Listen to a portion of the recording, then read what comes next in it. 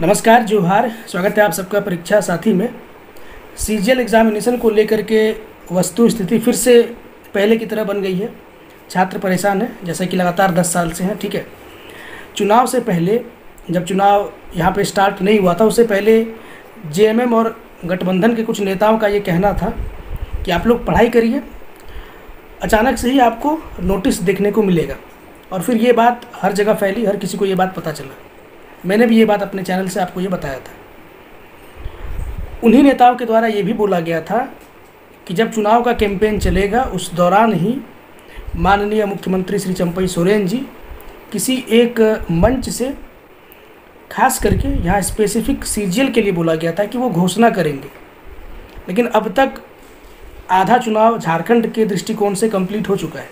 सात सीटों पर चुनाव हो गया है, बाकी और सात सीटें बची हैं। और ले दे के दो फ़ेज़ बचा हुआ है, ठीक है? अभी तक तो कोई घोषणा एज सच उन्होंने सीजीएल को लेकर के नहीं किया है। अब देखते हैं, आने वाले एक सप्ताह या दस दिन में वो क्या करते हैं। लेकिन दूसरी तरफ़ छात्रों की भी तैयारी है। जहाँ तक मुझे सुनने में आ रहा है, आज भी एक ग्रुप के बहुत एक्टिव मेंबर ने फ़ोन भी किया था। उन लोगों की प्लानिंग ये है कि चार जून चार जून के बाद बहुत जल्द एक आंदोलन जेएसएससी ऑफ़िस के समक्ष करना है। ठीक है, और उसमें काफ़ी भीड़ की आवश्यकता पड़ेगी। एक बहुत बड़े लेवल पर आंदोलन होगा जिससे सरकार को एक स्पष्ट मैसेज दिया जा सके। दबाव बनाया जाए। ठीक है, ये छात्रों की ही राय है। आप लोग क्या सोचते हैं? आप लोग इस विषय में ज़रूर कमेंट करिएगा। वो तो बात की बात है और बाकी हर ग्रुप में इस तरह की चर्चाएँ चल ही रही है। लेकिन ये एक प्रकार का छल है। ठीक है, ये सरकार बिल्कुल छात्रों को छलने का काम कर रही है। उनका बोला हुआ बात वो लोग कंप्लीट नहीं कर पा रहे हैं। और ऐसी सिचुएशन में बहुत सारे लोग मैं देख रहा हूँ यूट्यूब पे और बाकी जगहों पर जो कार्यकर्ता हैं, वो ना तो स्टूडेंट हैं, ना तो वो आम आदमी है, कुछ भी नहीं है। वो सिर्फ़ और सिर्फ़ कार्यकर्ता है। उनके जीवन का एक ही लक्ष्य है कि फ़लानी पार्टी जीत जाए, फ़लानी पार्टी हार जाए।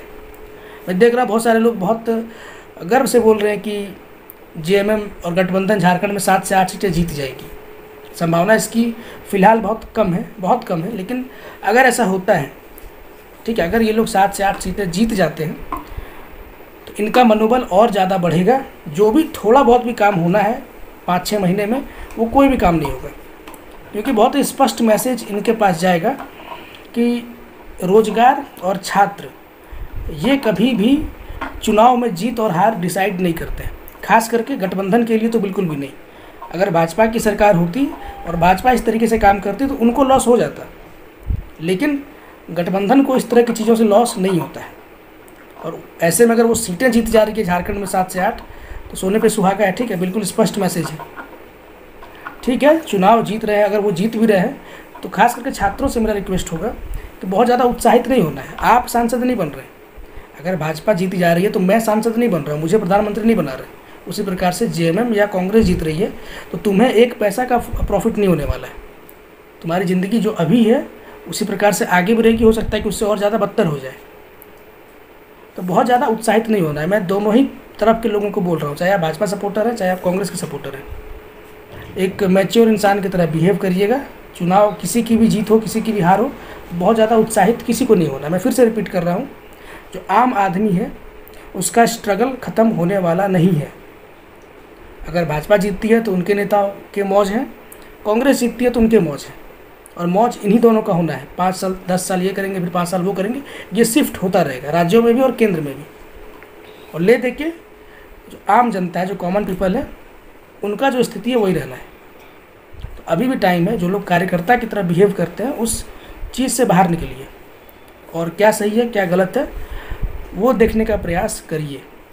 ठीक है, बहुत सारे लोग ये बोल रहे हैं कि देख लेते हैं, चार जून तक गठबंधन की सरकार आएगी, उसके बाद छः महीना के अंदर कांग्रेस तीस लाख रोज़गार देने वाली है।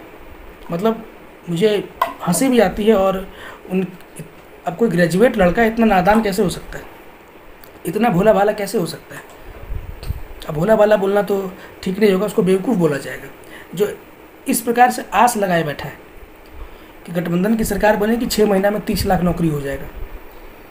मतलब बिल्कुल भी उनका पॉलिटिकल सेंस जो बोलते हैं बिल्कुल ज़ीरो ये तीस लाख रोज़गार का वादा किसने किया है? कांग्रेस ने किया है। ठीक है ये कांग्रेस ने अपने मैनिफेस्टो में डाला है। ना तो आरजेडी ने डाला है, ना तो आपके यूपी वाले अखिलेश ने डाला है, ठीक है। ना ममता बनर्जी का ये चुनावी मैनिफेस्टो किसी का नहीं है, सिर्फ़ और सिर्फ़ कांग्रेस का है। सरकार किसी भी सूरत में कांग्रेस अकेले तो नहीं बना पाएगी। जब भी बनेगा तो सब मिल करके ही बनाएँगे। और आपको लगता है कि चुनाव, राजनीति इतनी घटिया चीज़ है, कोई उस टाइम पे सपोर्ट नहीं करेगा कांग्रेस को कि तीस लाख नौकरी ये लोग दे दें। अगर ये प्रयास भी करेंगे तो बाकी पार्टियाँ अपना सपोर्ट वापस ले लेगी, क्योंकि उनको पता है कि अगर ये तीस लाख नौकरी दे देते हैं तो पूरे देश में कांग्रेस स्ट्रांग होगा। और कांग्रेस का स्ट्रांग होने का मतलब है, बीजेपी को नुकसान नहीं है। नुकसान किसको है? क्षेत्रीय पार्टी को। अगर कांग्रेस बिहार में स्ट्रांग होती है तो आरजेडी को नुकसान है। कांग्रेस झारखंड में स्ट्रांग होती है तो जेएमएम को नुकसान है। कांग्रेस यूपी में स्ट्रांग होती है तो बीएसपी और एसपी को नुकसान है। ठीक, और ये चीज़ें क्षेत्रीय पार्टियाँ बहुत अच्छे से जानती है। तो इसलिए इतनी बेवकूफ़ी वाली बातें नहीं करनी चाहिए। अगर इनका एक सम्मिलित मैनिफेस्टो होता, ये गठबंधन की सरकार जो है, इनका सबका मिला करके एक मैनिफेस्टो होता तो फिर ये कहा जा सकता था। ठीक है? तो इन सब चीज़ों पे आप लोग अपने स्तर पे भी विचार कर सकते हैं। झारखंड सबसे बड़ा एग्ज़ाम्पल है। देखिए यहाँ पे मुख्यमंत्री जी ने क्या बोला था? ठीक है, बहुत सारे समस्या इनके सामने आई। कोरोना का काल भी था, उसके बाद भाजपा ने भी बहुत ज़्यादा डिस्टर्ब किया है। लगातार इनको अनस्टेबल करने का प्रयास किया, वो सब चीज़ें एक तरफ़ है, लेकिन फिर भी अगर ये प्रयास करते तो एटलीस्ट नौकरी दे सकते थे। ठीक है, पाँच लाख नौकरी आप नहीं दे पाते, कम से कम एक लाख तो दे ही सकते थे। आप देखिए इन्होंने क्या क्या वादे किए थे, सरकार बनाने से पहले। अगर आपको याद हो तो बेरोज़गारी भत्ता देंगे सबको नौकरी देंगे और तमाम तरह के वादे। क्या एक भी वादे ये सरकार पूरा कर पाई जो इन्होंने छात्रों से और बेरोजगारों से किया था? एक भी वादे इन्होंने पूरे नहीं किए। वही गठबंधन की सरकार यहाँ भी है। पाँच साल भाजपा चला रही थी ठीक ठाक चला रही थी, एटलीस्ट इससे तो अच्छा ही था।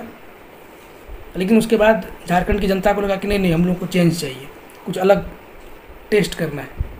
वही चीज़ अभी देश के केंद्र को लेकर के भी वही फीलिंग सबके मन में है कि अब दस साल देख लिया मोदी जी को, अब थोड़ा सा चेंज किया जाए।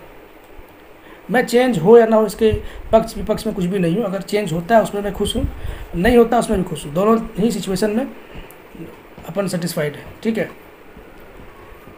लेकिन आप लोग भी चीज़ों को विजुअलाइज करिए, क्या हो रहा है, क्या नहीं हो रहा है, और मैं फिर से बोल रहा हूँ, झारखंड उसमें सबसे बेस्ट एग्ज़ाम्पल है। एक एग्ज़ाम कराने के लिए आपको रिपीटेडली प्रोटेस्ट करना पड़ रहा है। ठीक है, उसके बाद भी एग्ज़ाम हो नहीं पा रहा है।